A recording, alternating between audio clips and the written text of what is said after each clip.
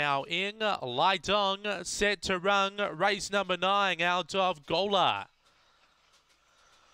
On their journey, Occipital Eyes was only fairly away. Their speed from the centre, Lily Pad carving over Vontae Mack is up there handy early, but Lily Pad goes to the front by three. Favourite cop to check, Occipital Eyes is last. Lily Pad by only a length and a half now over Vontae Mack. Freddie Rico, a gap of about four then to Occipital Eyes, who's six off the top. Stony McBride at the tail. They race up to the turn. Lily Pad now tackled by Freddie Rico, who looms up strongly.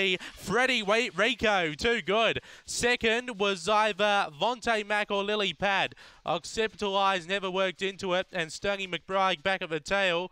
That time around 31 seconds. It's 30 and 97. Freddie Rico for Troy Murray gets up. Big's home for six. Vontae Mack, Ben Rawlings. Third number four, Lily Pad, Lisa Rasmussen. Fourth number two, Occipital Eyes, Lisa Rasmussen. Three and three quarters by a half head. Three and three quarters by a half head.